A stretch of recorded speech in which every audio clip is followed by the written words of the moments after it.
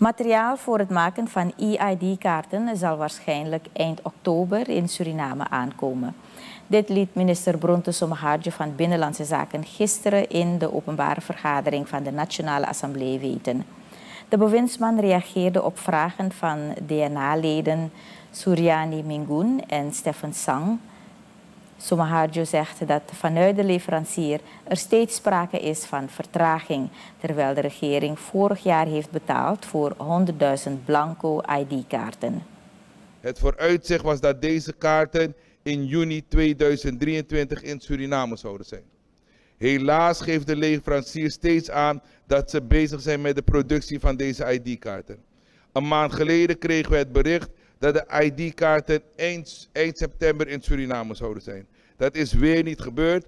Van de leverancier is nu vernomen dat de kaarten waarschijnlijk pas eind oktober zullen arriveren. Mocht dat niet gebeuren, dan gaan wij uh, uh, stappen ondernemen. Sinds vorig jaar is er een tekort aan materiaal voor de aanmaak van e-ID-kaarten. De bewindsman merkte op dat er nog 4000 ID-kaarten opgehaald moeten worden. Zowel leden van de oppositie als de coalitie willen meer duidelijkheid over de stappen die ondernomen zullen worden als het materiaal niet bijtijds binnen is. Het niet hebben van een EID kan problemen brengen bij het stemmen op 25 mei 2025.